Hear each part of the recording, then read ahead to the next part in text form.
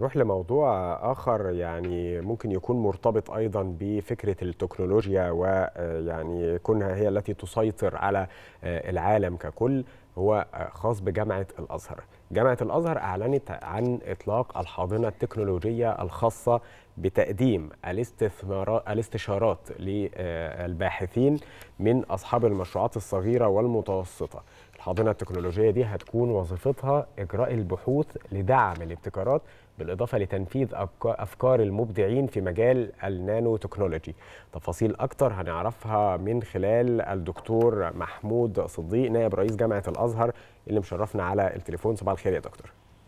صباح الخير يا فندم وصباح الخير الساده المشاهدين وصباح الخير يا مصر.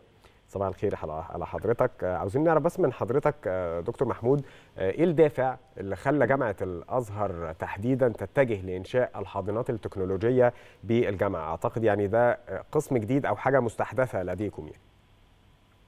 آه لا هو مش حاجة مستحدثة ولا حاجة. إحنا صدر القانون في أبريل 2018 م. هو قانون حوافز التكنولوجيا ودعم الابتكار.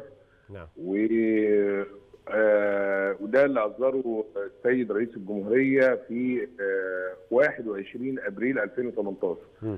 وده كان ليه صدى كبير جدا في دعم حوافز ومخرجات البحث العلمي ودي طبعا حاجة يمكن الجامعات المصرية كانت جامعة الأزهر من الجامعات الأولى اللي كان ليها السبق في تلقي هذا القانون لأن طبعا إحنا عندنا يمكن جامعة الأزهر جامعة متنوعة وفيها كثير صحيح. من الكليات العلمية والتطبيقية. على سبيل المثال فيها ثلاث كليات الهندسة وثلاث كليات العلوم. ويمكن كانت أول حاضنة انشئت في جامعة الأزهر كانت في هندسة قنا وكانت تحت اسم رواق. ورواق طبعا دي متاخدة من المسميات القديمة. كانت كانت في جامعة قنا سنة كام يا فندم؟ كانت في هندسة قنا هندسة قنا هندسة قنا عفوا سنة كام؟ يعني إحنا عندنا فرع الجامعة في فرع في كلية الهندسة في قنا نعم. ودي طبعا أنا بأثمن الدكتور الدور الكبير اللي قام به الأستاذ الدكتور محمد جلال عميد الكلية. وكان أنشأ أول حاضنة في جامعة الأزهر تحت اسم رواق لدعم الابتكار ودعم المشروعات الصغيرة وريادة الأعمال. وده كانت 2019 وتبعوا بعد كده ثلاث حاضنات أخرى، يعني إحنا دلوقتي بإنهاء الحاضنة الرابعة. طيب دكتور محمود عايزين نفهم الناس يعني خطة دعم الباحثين وأصحاب المشروعات الصغيرة والمتوسطة من خلال هذه الحاضنات التكنولوجية. هو هذا المشروع بيتيح فيه مخرجات البحث العلمي إن يحصل فيه شراكة ما بين المجتمع الخارجي وما بين مجتمع الجامعة نفسه. م. وفي نفس الوقت بيسهل على الناس إنشاء شركات صغيرة ومتوسطه وعايز أقول لحضرتك إن كل الشركات اللي هي بتنشأ في حاضنات تكنولوجية يعني بيكون ليها قاعدة علمية. ده بيكون ليه آه نجاح بنسبة 87% بيكون في أسس علمية للمشروع آه تم يعني عمل بحث عليها دقيق فبتكون يعني المعلومات أدق آه فبيقدر إنه يبتدي مشروعه بطريقة يعني أسهل. أسهل ودراسة الجدوى بتكون أنجح وفي نفس الوقت مدى الاستدامة لهذه المشروعات وهذه الشركات بتكون استدامة بنسبة 87% م. غير الشركات اللي هي ما بتقومش على أسس نسبة النجاح فيها لا تتعدى 50% م. يعني حوالي 45% نسبة الاستدامة ونسبة النجاح. فطبعا ده بيتيح إن إن يكون فيه الحاجة على أسس علمية وإن ده يعني شيء جميل جدا إن الجامعات المصرية أو كل مراكز البحث العلمي يعني تتبنى طبعا يعني كمان الأفكار اللي زي دي آه بالظبط ده هيكون له مردود على مجال الزراعة والصناعة و... وخصوصا إن في مجالات كثيره جدا منها حاضنة كلية علوم بنات جامعة الأزهر اللي هي حاضنة للنانو تكنولوجي ودي يمكن الجامعة بتدعم مشاريعها وهي متقدم ليها خمسة مشاريع. والخمسة مشاريع دول حضرتك إحنا بن يعني كل الفكر شبابي كل الفكر شباب الجامعات ومش بنقتصر بس على جامعه الأزهر. يعني يمكن حاضنة رواق كانت عاملة من عامين مضوا وكان في تنافس شديد جدا بين الجامعات بتحتضنه جامعة الأزهر في رواق هندسة هنا. وحضر هذا التنافس كان محافظ هنا ونائب رئيس الجامعة الوادي الإبلي. نعم. وكان شيء جميل جدا إن خرجت من هذا المشروع حاضنة الرواق هنا. كان في مشروع للشركات الصغيرة وده يمكن شركة إلاف اسست في رواق هنا وشركة إلاف دي صاحبتها السيدة فاتن صلاح الدين واللي كرمتها حرم فخامة السيد رئيس الجمهورية نعم ومنحتها درع ايقونه المرأة المصرية خلال الاحتفال بيوم المرأة العالمي. نعم ونماذج جدا وشركات صغيرة جدا قامت من الحاضنات. نعم أكيد يعني في أفكار كتيرة شبابية لكن آه الاتجاه العام دلوقتي للدولة هو آه الاتجاه نحو التصنيع والإنتاج. إيه أبرز الاستشارات العلمية اللي هتكون متوفرة للباحثين تحديدا أصحاب المشروعات الصناعية؟ يعني حضرتك إحنا عندنا حاضنة أخرى وهي حاضنة كلية الصيدله بنات جامعة الازهر برضو. نعم. ودي بتهتم بالنباتات الطبية والمنتجات الزراعة.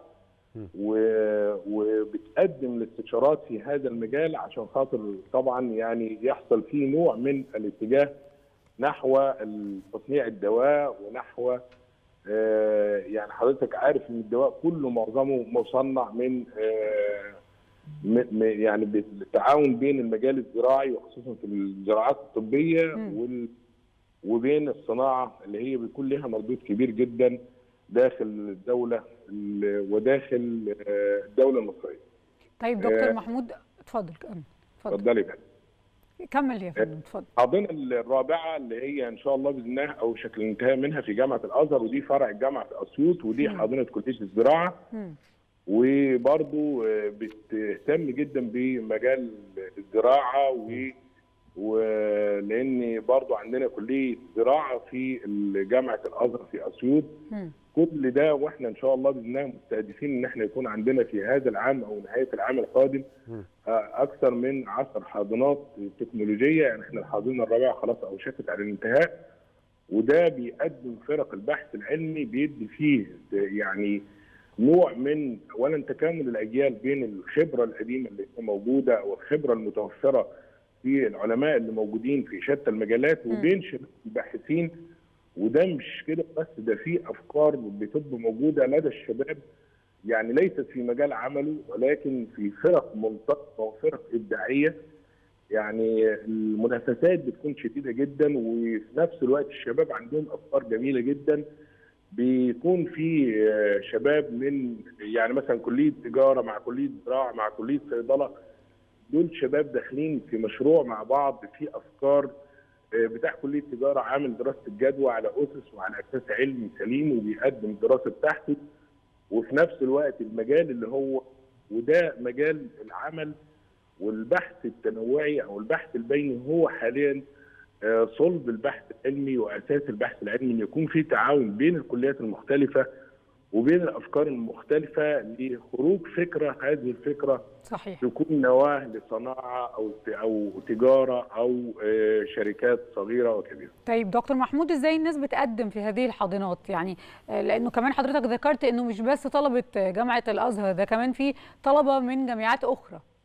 آه بيكون في إعلان رسمي بناء على المسابقة بتكون موجودة وال وبيكون إعلان داخل الجامعة ولا إعلان مثلا على لا لا موقع لا الجامعة؟ لا اعلان إعلان اولا على صفحة الجامعة الرئيسية وفي نفس الوقت بيكون بدعم من المحافظة اللي إحنا موجودين فيها والمكان اللي إحنا موجودين فيه. م. والناس كلها بتيجي تشترك من الجامعات المختلفة. ويعني بقول لحضرتك إن الشباب يعني في يعني كنا في المسابقة بتاعت من منذ عامين في هنا م. كان مع شباب من جامعة جنوب الوادي كان شباب من جامعة الأقصر كان شباب من جامعة أسوان. ويمكن الفرق الفائزة يعني الفريق الأول لم يكن من من داخل جامعة الأزهر ولكن كان من جامعة جنوب الوادي.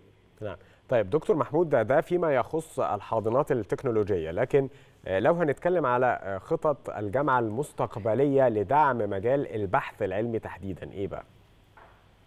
بص حضرتك إحنا اولا يعني يمكن برضو من أكثر من عامين نعم. كان تفضل الأستاذ الدكتور محمد المحرساوي رئيس الجامعة وبدأ ينظر إلى دعم البحث العلمي من خلال المساعدة ومساعدة الجامعة في تحمل تكاليف نشر البحث العلمي ورصد مكافآت للمتميزين ورصد نعم. مكافآت لمن يقوم بالنشر في دوريات عالمية وفي نفس الوقت تلقف هذه تلقي هذه مخرجات البحث العلمي ومساعدة إن إحنا هذه في مجال الصناعة وفي مجال الزراعة وفي مجال في كل المجالات المختلفة. نعم.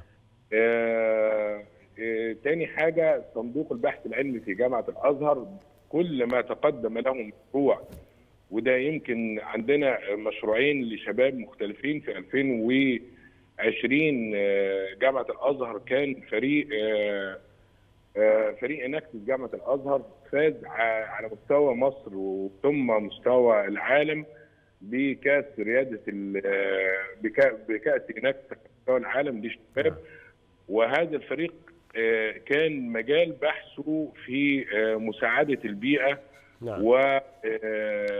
واستخلاص استخلاص مخرجات قشر الجمبري في مجال الصناعة يعني يمكن موضوع من الموضوعات الهامة جدا واللي بتتماشى مع آه، الفكر العالمي بقى مش هقول توجهات الدولة فقط لأن زي ما حضرتك عارف آه، تغيرات المناخ ال- المقبلين عليها أو اللي حدثت بالفعل فمثل هذه الأبحاث والمشروعات بتفيد ليس فقط مصر لكن بتفيد العالم ككل. الدكتور محمود آه، صديق نائب رئيس جامعة الأزهر بنشكر حضرتك يا فندم على وجودك معنا في صباح الخير يا مصر.